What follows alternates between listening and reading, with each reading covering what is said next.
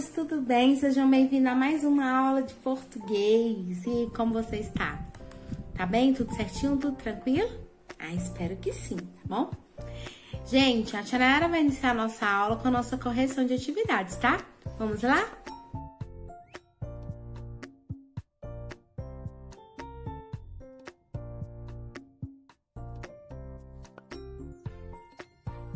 Agora você vai abrir seu livro na página 121, tá?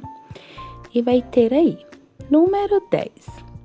Observe o título da canção, Parabéns a você.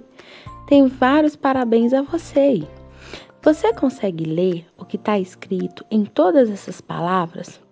Note que uma mesma letra pode ser apresentada de mais de uma forma. Então, ele está mostrando para vocês também várias grafias ou forma escrita do parabéns a você.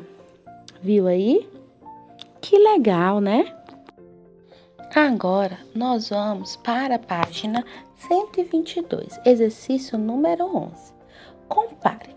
Nós temos aí parabéns a você com a letra maiúscula. E temos também o parabéns a você com a letra minúscula. Letra A. Qual das duas formas apresenta letras maiores, ou seja, maiúscula? Tem a opção primeira e a segunda. A resposta é a primeira. Agora na letra B, qual das duas formas apresentam letras menores, minúscula? É a primeira ou a segunda? Segunda é a resposta correta. Temos aí o número 12, recorte de jornais e revista, apenas letras minúsculas para formar a palavra aniversário, tá? Tia Nayara vai colocar aqui a escrita na letra minúscula, tá? Mas é, você recorta e cola, tudo bem? Número 13. Observe as letras maiúsculas escritas a seguir. Elas são baralhadas.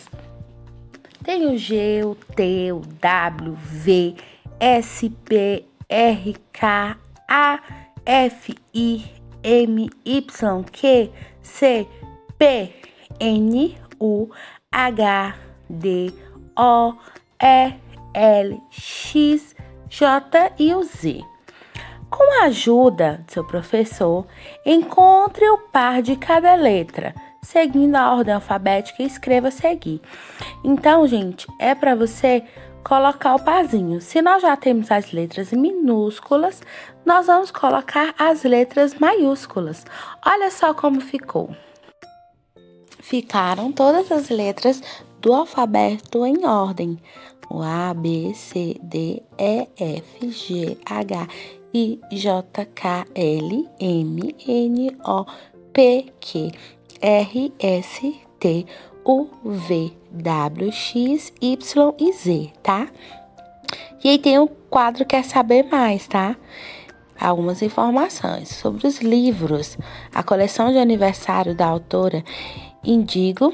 Nessa coleção, o personagem Arthur vai crescendo e a cada ano suas festas recontam sua história. O primeiro aniversário é contado no livro O Aniversário do Dinossauro. Então, meus amores, nós sabemos que o alfabeto é muito importante porque o alfabeto tem letrinhas. Com letrinhas temos som, podemos escrever palavras, podemos ler as palavras. E o alfabeto é muito importante, tá bom? A tia Nayara trouxe aqui para vocês umas palavrinhas surpresas, tá bom? Elas estão no envelope. Eu vou mostrar aqui para vocês. Eu trouxe esse envelope com palavrinhas surpresas. Eu vou retirando as palavras e você vai tentar ler aí na sua casa, tá bom? Então, vamos lá. A primeira palavrinha, vamos tirar, é a palavrinha. Vê se você consegue ler. Hum, não vou ler agora, tá? Só depois. É bom que eu vou dando um tempinho pra você pensar. Ó, vou colocar ela aqui.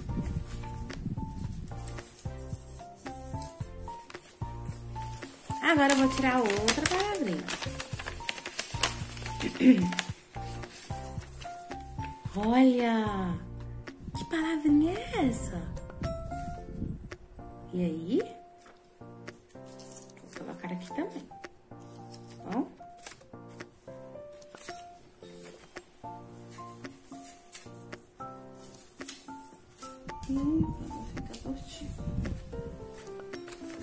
Vamos tirar outra palavra. Oh, olha, que palavrinha é essa? Você sabe? Vou colocar aqui.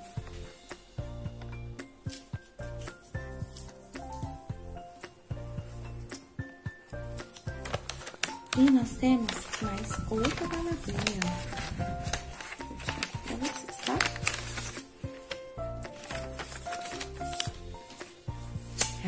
Palavrinha. Repete aí.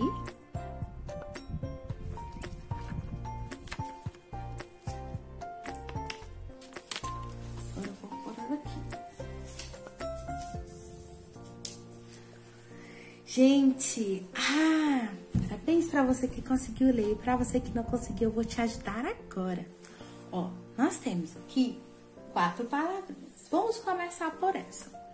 Primeiro, nós temos que ver qual é a letrinha inicial dela, tá? É a letrinha. Então, a gente vai fazer o som, ó. O, lo. Vamos ler? Bolo. Viu? Agora vamos para a segunda palavra. Letrinha hum. Todo mundo? Hum. Vamos fazer o som? Mago.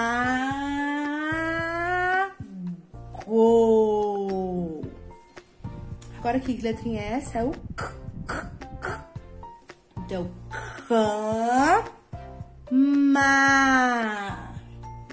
Hum, agora vamos para a outra. Lama.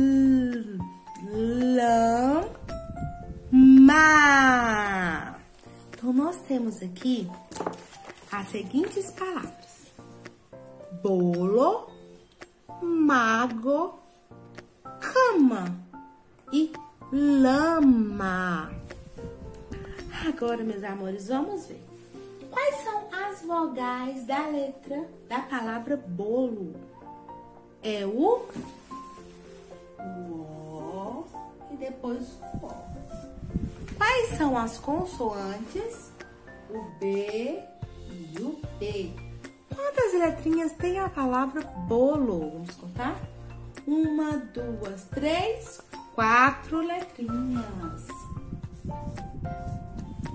Nós temos aqui a palavra mago. Quais são as vogais? A letra A e a letra O. Quais são as consoantes? O M e o G. Quantas letrinhas tem? Uma, três, quatro letrinhas. Nós temos aqui a palavra cama, tá? Quais são as vogais? O A e o A. Vamos circular. E quais são as consoantes? Eu tenho C e tenho A. Quantas letrinhas tem a palavra cama, gente? Uma, duas, três, quatro letrinhas. Vou pôr pequeno aqui porque a tia Nara cortou o papel, tá?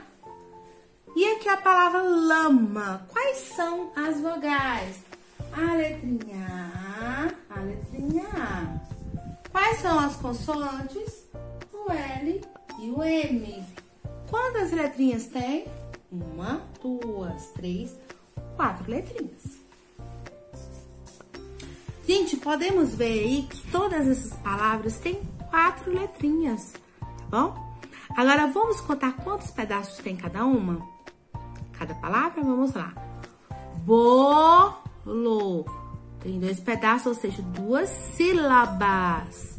Agora, vamos ver o mago. Quantas sílabas? Mago. Mago tem duas sílabas. Cama. Cama. duas sílabas. E lama, duas sílabas também. Então, meus amores, a tia Nayara vai explicar agora a atividade para vocês. Agora vamos abrir o livro na página 124. Nós temos aí Conecte ao assunto. Com as letras do alfabeto, podemos escrever qualquer palavra da nossa língua. Às vezes, as mesmas letras se repetem nas palavras, mas a organização das sílabas faz com que uma palavra se torne diferente uma da outra. Troque as sílabas de posição e forme novas palavras, tá? Temos aí lama, bolo, mago e cama. Você vai trocar a ordem delas e vai descobrir novas palavras. Tire uma sílaba de cada palavra e descubra outra escondida. Mas atenção, não pode mudar a sílaba de lugar. Então, vou fazer um exemplo aí. Tem sacada. Você vai tirar só uma sílaba. Então, no caso, eu vou tirar o sa. E vamos ver qual palavra vai formar? Formou a palavra cada. Assim, você vai fazer nas outras palavrinhas: peruca, galope, rosado e galinha, tá? Não vale mudar de lugar e você vai tirar apenas uma sílaba. Tudo bem? Gente, eu só quero reforçar com vocês a atividade, tá? Do nosso livro, a primeira, tá bom? Aí tá falando sobre troca de sílabas, tá? Tia Nara vai mostrar aí como é bem facinho, ó. Nós temos palavra com duas sílabas, não é? Ou, por exemplo, aqui vamos pegar a palavra cama. Cama. Eu vou colocar aqui, ó, cama. Gente, se a gente trocar a ordem das sílabas, ó, tá cama certinho. Se eu trocar a ordem das sílabas colocando M primeiro e depois o Ma primeiro e depois o K.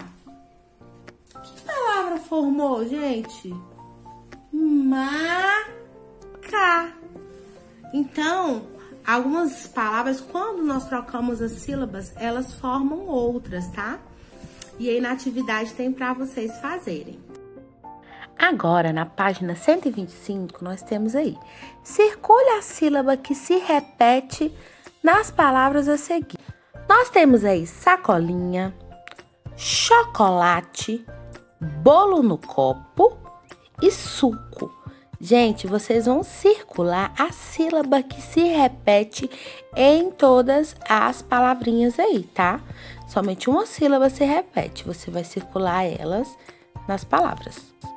Agora, para finalizar o nosso exercício, nós vamos para a página 126, tá? Tem caracterizando o gênero.